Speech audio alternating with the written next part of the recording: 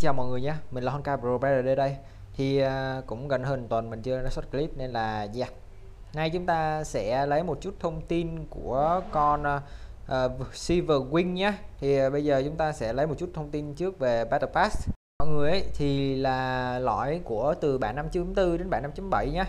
Thì uh, lõi 5.4 chúng ta sẽ được độ có màu hồng và sẽ có hai nhân vật chủ đạo là nhân vật HOT và Elisa thì mình nói thật nhé chắc nghĩ là mình sẽ nghĩ là mình không nâng con Elisa lên SSS đâu. Nâng lên SS thôi là để hết tài nguyên rồi. Mình sẽ đợi cho những con sau nữa. Nên là chúng ta sẽ không có Elisa 3S nhá chỉ 2S thôi nha mọi người. Và tiếp theo là Battle Pass của bản ờ, 5.3 được reroll lại. À, chúng ta sẽ có chấn của Reason và Gia Cách Lượng nhé và cả vết thánh thủy kính và quét nữa. Thì mình nghĩ là cái này sẽ khá là giúp ích cho một số người gọi là muốn lấy chấn của thủy kính mà gọi là không muốn tiếp tế. Thì cái chấn của thủy kính khá là đặc biệt chỉ có mỗi khi mà nó dùng ấy khi mọi người dùng QTE thì nó có thể dùng cả cái chấn vũ khí luôn. Đó, nó khá là đặc biệt đấy nên là mình mong là sẽ có một số người dành để lấy nó chứ mình chắc chắn là mình phải lấy đấy tiếp theo chúng ta có các kỹ năng của HR silverwing không phải HR là Silverwing mình bị lag ấy à, chúng ta sẽ tới với skill đội trưởng trước.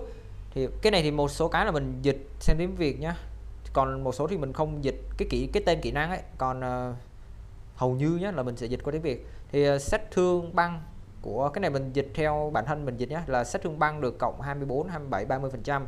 Còn sát thương toàn đội sẽ được cộng 20 23 26 phần trăm. Thì cái này là mình dịch gọi là mình cũng thấy ngơ ngác lắm. Mình cũng chẳng hiểu mấy đâu nói chung là cái này phải đợi ra tới bản chính thức đã. Cái này giống như là chắc là cũng sẽ búp như của ờ, uh, Mobius ấy. Chắc chắn nó sẽ cũng sẽ búp như Mobius nên là đợi tới cái lúc ra mắt đi nha thì hiện tại mọi người đã có thể test ở trong event rồi nên là mọi người cũng sẽ thấy cái game gameplay nó như thế nào. Mình thấy khá là bình thường. Rồi tiếp theo chúng ta sẽ tới với evasion. Nha thì uh, cái này nó sẽ liên quan tới QTE né thì chúng ta sẽ tạo ra một bức cản cái này gọi là rào chắn thì giữa Silver Wing và kẻ địch thì sau khi mà tấn công thường ấy sẽ được cường hóa và cái khi mà chúng ta né thì sẽ được à, đứng hình.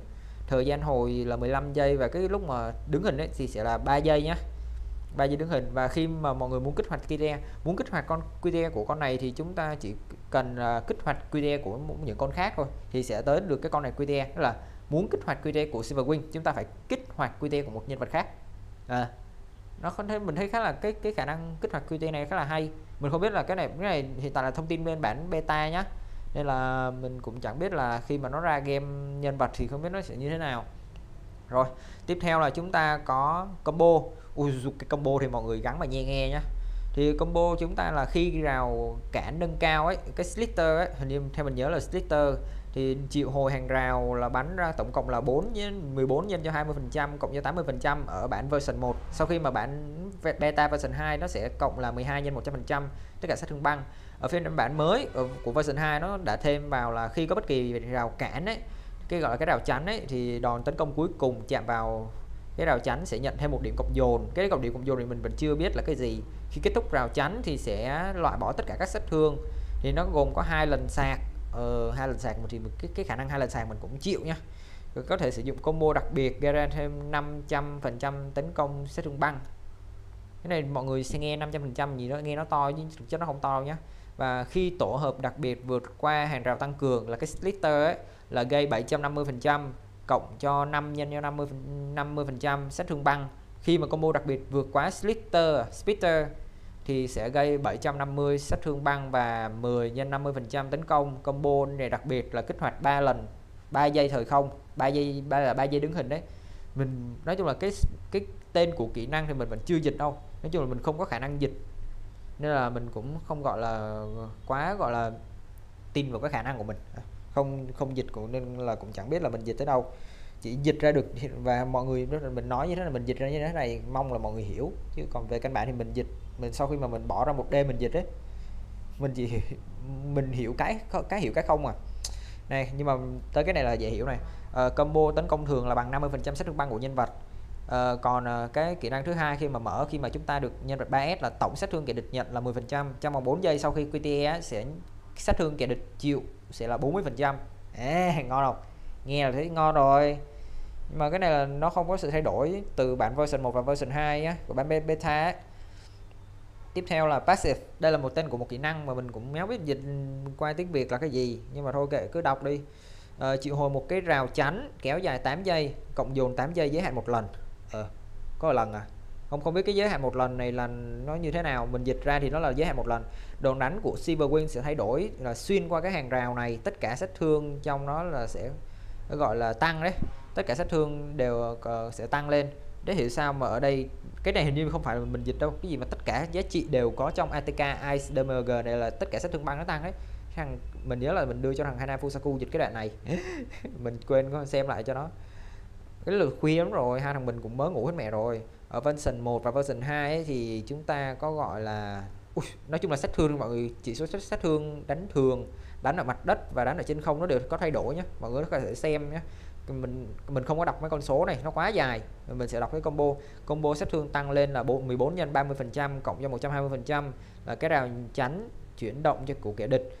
Cái này thằng Long dịch quả nhìn chán thật sự. Nhưng không cản được các đòn tấn công của kẻ địch. Nhưng mà mình nhớ là lúc mà mình tấn công là kẻ địch bị stun mà Silver Wing rời khỏi sân sẽ phá hủy rào chắn. À là cái có, có nghĩa là cái này mọi người không thể nào mà gọi là dùng cho nhân vật khác nhé sau đó sẽ tăng sát thương của nhân vật kế tiếp ra sân tổng là 30 phần trăm là khi mà mọi người thả con người mọi người cất con Silver Wing vào mọi người sẽ được cộng 30 phần trăm sát thương trong vòng 8 giây. Là con nhân vật tiếp theo sẽ được cộng à, 30 phần trăm sát thương. Đấy, còn uh, các kỹ năng khác như là một cái kỹ năng phụ nó trong cái phần passive này là sau khi sử dụng TDM cái TDM là cũng là kỹ năng nhé hồi 0,8 SP ở S0 S0 là mới là cấp S thường đó. Khi mà chúng ta lên SS1 thì sẽ được hồi là 1 SP trên một giây cho cho con Valkyrie tiếp theo ra sân. Và 32% sát thương từ QTE sát thương băng của QTE gây ra trong vòng 8 giây. Nói chung là sau sau khi QTE hết á nói chung là hầu như mấy cái búp này là hầu như sẽ là sau QTE Đấy, khi mà khiên chánh đang hồi thì Silver Wing ra sân sẽ hồi phục một FP cho Silver Wing. Nói chung là con này nó cũng thiên về hỗ trợ ờ, support vậy đấy khi có bất kỳ rào chắn nào tất cả kẻ địch nhận thêm 10% ở version 1 và 12% ở version 2 S1 15 ở version 1 và 20% ở version 2 S2 Ủa, cái này nhìn hơi hơi rối nhé mọi người chịu khó là mọi người đọc là mọi người tự ngẫm nhé còn nếu theo mà mình dịch ấy thì là ở S1 thì chúng ở version 1 S1 thì chúng ta sẽ có 10% nhưng mà khi mà ở version 2 chúng ta sẽ được tăng thêm 2% đạn đạo từ slitter từ slitter hoặc rào cản tăng cường ấy sẽ tăng thêm 20% khi mà chúng ta ở cấp S ban đầu. Và khi ở SS2 chúng ta sẽ được lên thành 30% sát thương băng. Để hiểu sao thằng này đó là để thiệt hại băng à. tôi sợ thằng này vào đấy. Tối mới ngủ con mẹ rồi. Kỹ năng ulti thì uh, nhấn giữ chữ B uh, giữa không trung hoặc là tiếp đất. Uh, thì có khi con cái con bronya này là chúng ta có thể đánh là dạng là hai hai lần. Nói chung là giống như HOF ấy, thì chúng ta có thể đánh cả trên không mặt đất luôn thì kỹ năng này thì sẽ có thời gian hồi là 15 giây, rồi tiêu hao là 100 SP nhé đây, thì đây có điểm trên, điểm sát thương ở trên sân, điểm sát thương ở trên ờ, trên sân đất, mặt đất hoặc là trên không này, thì mình có hết này.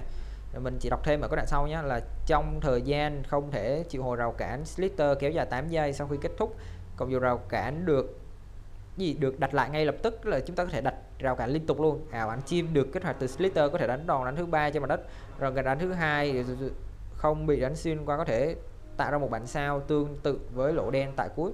Một đòn đánh, mẹ mình thằng long dịch nhìn quả đau đầu quá. Mai mốt chắc tự làm. Khi có bất kỳ kỹ năng, một kỹ năng nhân phụ ở trong ultimate khi có bất kỳ rào chắn nào, tất cả sẽ, cái, tất cả các sát thương mà địch phải nhận là 10% ở version 1 ở version 2 là 12% S1 Ủa, cái này là, cái này là cái hồi này mà ta?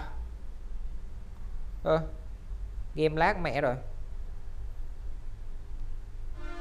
Chắc chắn là game lag rồi, hoặc là mình lag, không biết nữa. Nói chung là nó bị trùng nội tài, chắc cái này do mình dịch á và là cái đoạn bên kia này là nó không có cái đoạn à, cái đoạn à, bất kỳ rào chắn nào là là nó bị đá qua bên này là vậy là nãy mình quên cắt ra đấy. Basic attack giá trị được hiển thị ờ, trên mỗi chuỗi. Đó, đây là tấn công bình thường nhé đây là tấn công thường. Là ở dưới mặt đất ấy đi đây mà ở mặt đất trên không nó có hiển thị đàng hoàng luôn mọi người có thể mọi người xem.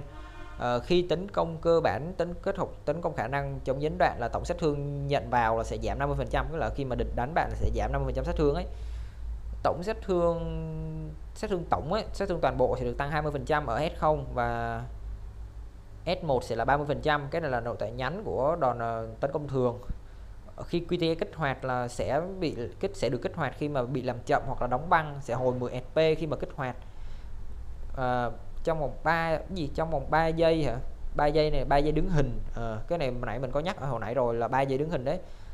Ờ, và đặt lại rào cản nâng cao giải quyết ba cái linh tinh sát thương và khi QTE làm giảm 4 giây cộng dồn của chuyển đổi vắt trước đó cái là khi mà mọi người kích hoạt QTE của Pro nha là cái nhân vật mà mọi người cất vào thì sẽ được ra nhanh hơn 4 giây.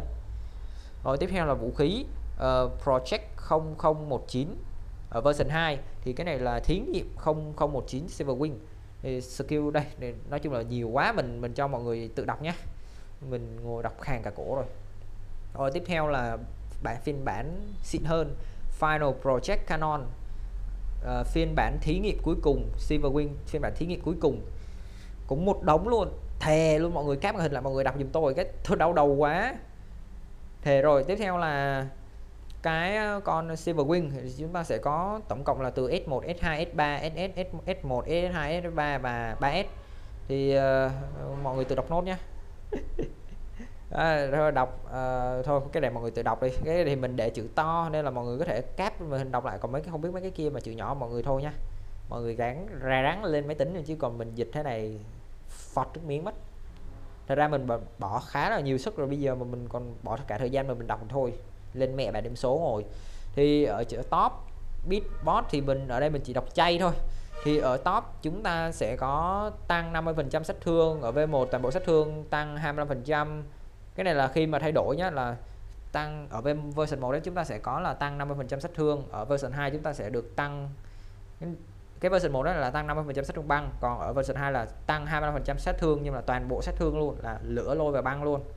Đó là có thể dùng cho những con khác. Combo à, tâm combo tấn công khi mà dính đòn triệu hồi một con chim đến trú ngụ trên mục tiêu và gây 200% sát thương. Băng trong một AOE nhỏ và được coi là combo ATK cộng dồn trong vòng 8 giây nhé Phát cả đáy à. Rồi mid thì tăng toàn bộ sát thương trong 30% thời gian có hiệu ứng hiệu ứng đang chờ xử lý ấy, là một kỹ năng nhé là tổng sát thương nhận vào sẽ giảm 30% là tổng cộng là chúng ta sẽ giảm được 80% khi mà chúng ta ở trạng thái bắn. Rồi bot công 66 méo biết tại sao biết không có công? Gây sát thương QTE một cộng dồn hiệu quả hiệu ứng đang xử lý lại hiệu ứng đang xử lý. Mỗi cộng dồn sát thương băng là 25% trong vòng 20 giây. Cái cộng dồn 3 lần có là chúng ta sẽ được 75% nếu mà chúng ta dồn chồng lên cả ba lần thì chúng ta sẽ được 35% 75 chứ. Thời lượng được làm mới là trên lần xếp tiếp theo. Là nhưng mà chồng mắc 3 lần thôi chứ không nhiều. Rồi, ở skill set thì chúng ta sẽ có set 2 và set 3 set 2 khi sử dụng ulti hoặc đòn đánh thường kết hợp với chúng đích thì chúng ta sẽ được cộng dồn cái kỹ năng đang chờ xử lý trong vòng 5 giây. Mỗi cộng dồn là độc lập dựa trên là phương pháp là có ba phương pháp là QTE này combo thường hoặc là ulti. Combo ấy combo thường combo và ulti. Khi mà tối đa cái mà nội tại đang chờ xử lý tổng sát thương sẽ cộng thêm 20% nếu cộng dồn cuối cùng được cấp bởi cái kỹ năng QTE là khi mà mọi người dùng combo ulti hoặc là ulti combo xong rồi xong rồi mới QTE đấy thì cái hiệu quả của mảnh B cái mảnh boss ấy, sẽ được cộng thêm 10% sát thương băng nữa khá là hay là cái sách hương băng sẽ được cộng lên là 100 cái này mình dịch theo bản thân nhé là cộng thành 35 mà 35 chồng lên 3 lần thì chúng ta sẽ được uh, hoặc là 85 đấy mắc mắc có là một là 85 còn hai là 105 mình nhớ là chắc mình chắc nghĩ chắc là 85 chứ không tới 105 đâu mọi người ạ. Rồi set 3 công kích cơ bản và tổ hợp trên các đòn đánh gây thêm 25% công thường công băng trong vòng 3 giây ICD ICD cũng là một tên của kỹ năng nhé mình chịu rồi trên ờ, mỗi mục tiêu. Tối đa đang chờ xử lý sẽ hồi 30 HP tức là cái set 3 mọi người không nhất thiết phải lấy. Nhưng mà nếu mà mọi người muốn lấy gọi là full gear thì mọi người có thể lấy cái full 3 set luôn. Còn mình nghĩ ấy, nếu mà được thì mọi người lấy hai set thôi. Set 2 là được rồi bởi mình thấy set 2 là đủ cũng đủ gọi là mạnh để đánh Elysia Rim rồi. Chứ còn đánh vực thì không nói. Đánh vực thì chắc mấy ông rít kích ổng full gear gì Bronya thì mình không muốn nói nhá. Đấy đó là những gì mà mình muốn nói trong cái bản ờ, gọi là review con Silver Wing thôi má ơi ngồi nói sắp mặt lờ luôn ấy tôi thề. Thôi à, thì mình ờ, mong mình cũng muốn nói cho mọi người một chút đó chính là những ai mà muốn share clip của mình ấy thì làm ơn nhớ để cái nguồn là giùm mình một cái. Bởi vì nhiều lúc mình lên trên Facebook á mình xem nhiều ông không để nguồn mình cũng tức lắm mà mình đâu có nói được cái gì đâu. Mình chỉ có biết xin nguồn thôi xong họ có họ có đưa cái nguồn này cho mình không? Ờ, thì đúng là có một số ông còn đưa chứ còn một số ông lại lặng lặng im mẹ luôn. Tôi rất là ghét luôn đó nhiều lúc mà bây giờ tôi mà đăng ký bản quyền một cái một thì mấy ông nói to chắc với tôi luôn. Thề cây vái cả piều thôi uh, xin chào mày làm người trong ờ, các clip ờ, phân tích nhân vật lần sau. Cái này tôi xin nhắc lại là cái clip này hiện tại là những cái thông tin này là tôi lấy từ bản beta version thứ hai bản beta 5.4 nhá. Nên là những thông tin này chỉ để tham khảo cho những người mà muốn lấy silver wing thôi. Còn với tôi kiểu gì tôi mà chẳng lấy. Lấy về cho đẹp tàu. đó xin chào và hẹn gặp người trong các ờ, clip lần sau. Bye.